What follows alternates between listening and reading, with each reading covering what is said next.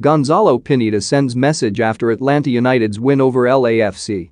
Atlanta United interim manager Rob Valentino says Gonzalo Pineda was in touch after Sunday's 1-0 win over LAFC.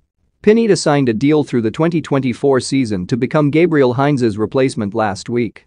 However, the former Mexico international is only set to take over from Valentino following the Five Stripes home tie against Toronto FC on Wednesday night due to a positive COVID-19 test.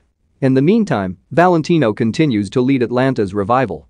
Sunday's victory, which came courtesy of a 46th-minute Josef Martinez strike, is the first time they've won back-to-back MLS games this season. Under Valentino, the Five Stripes have now taken seven points from four games. Speaking to reporters after the match, Valentino revealed Pineda sent a text to congratulate him and the players on the result. I checked my phone real quick because I thought he might text, said Valentino. He said very good job and that he was proud of the boys.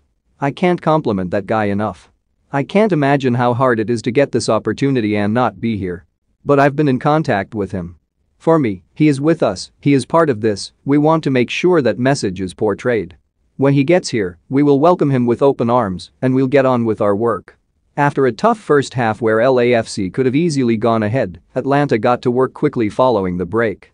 The Five Stripes turned defense into attack with one Marcelino Moreno pass before Ezequiel Barco raced free to provide Martinez with an easy finish just a minute after halftime.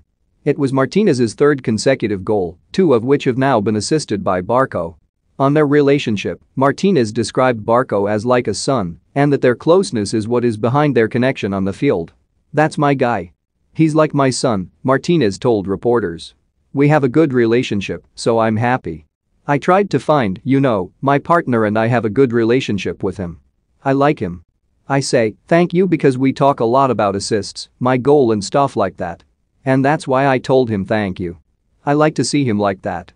When asked if he could forge a partnership with Barco similar to that he enjoyed with Miguel Almiron in 2018, Martinez responded.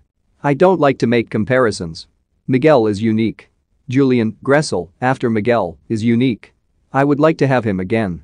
And Barquito is special. He's like my son. You have to love him. There are days he understands more than others, but he's improving. The other day he scored a golazo. I'm glad for him because we've shared a lot of moments